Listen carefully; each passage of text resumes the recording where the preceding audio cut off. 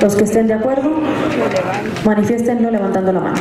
En sesión ordinaria, los suplentes de los nuevos diputados que pidieron licencia para contender en estas próximas elecciones tomaron posesión del cargo como nuevos parlamentarios de la sexagésima legislatura del Estado, quienes algunos estarán al cargo por un periodo de tres meses y otros un poco más.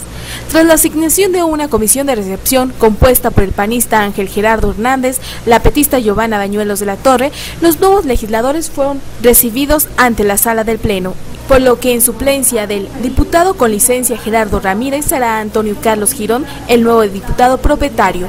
De Jorge Álvarez Maínez quedó Miguel Ángel Aguilar Aro. De Benjamín Medrano Quesada es Gustavo Torres Herrera.